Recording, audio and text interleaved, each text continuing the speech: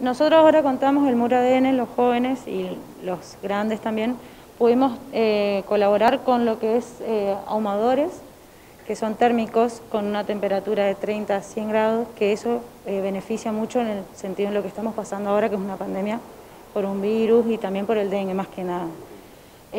contamos con 10, después tenemos las mochilas también que anteriormente, en la primera etapa que nosotros colaboramos, la donamos con unas Em, bueno, con unas motos guadañas, después unas camas que donamos también y alcohol.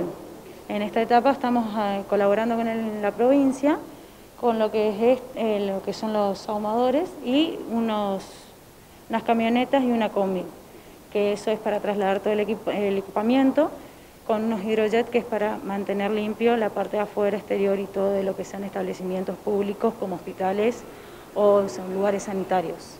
También vemos artículos ahí como mascarillas, guantes, alcohol. Sí, nosotros cada equipamiento tiene su mameluco, sus guantes, toda la parte de mascarillas y, antiparras. También contamos con el alcohol que le vamos a dar todo el equipamiento a los chicos que estén manipulando los elementos y además también le damos eh, lo que es repelente para que justamente se, se prevea el contagio del dengue y todo lo que estamos pasando.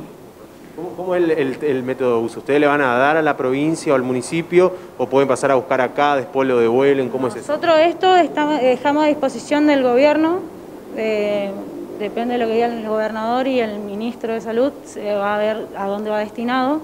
Está para el uso de, ellos más que nada y ver, eh, colaborar con, con la provincia.